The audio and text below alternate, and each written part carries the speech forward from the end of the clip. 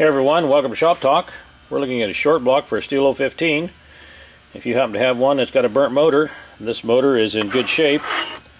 Bolt on your outside pieces and you're up and running.